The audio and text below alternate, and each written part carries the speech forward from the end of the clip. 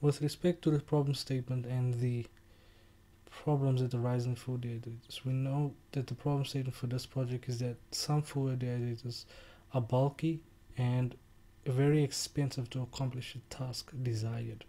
Now with this project I have aimed to keep the cost low while still accomplishing what the customer wants. And I've mainly done this through my literature studies and the accomplished product and you will see. Now to accomplish the task of building a food dehydrator with regards to keeping it cheap and effective still I, I considered many consumer facts such as one thing is users do not like to uh, use something multiple times to get what they want out of it. So I decided to make it a still a large to medium sized food dehydrator but this time I changed the material and I considered a more efficient heating element to cut down on electrical costs and to cut down on the, the cost of the electrical heater.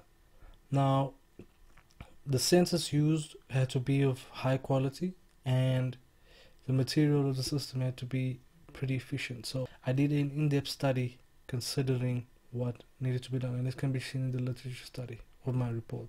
Now as can be seen here you can see the images of my final system and you can see how it looks. It's a it's a black uh, closet type of um, look and it's black because heat and or light is absorbed by the color black.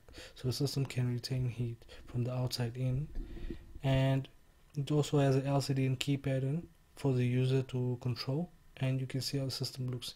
And you can see some of the images here that convey the inside of the system where the equalizing grid is where the fan inlet and outlet is.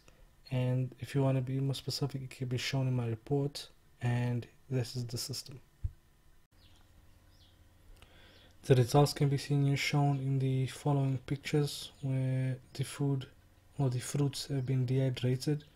And you can clearly see that the images show um, that the fruit is dehydrated and the following graphs indicate to the level which the system performs.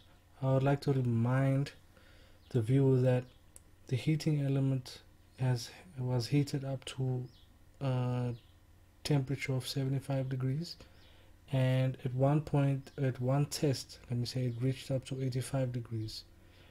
But the average temperature throughout the system remained around 50 degrees which is sufficient to dehydrate fruits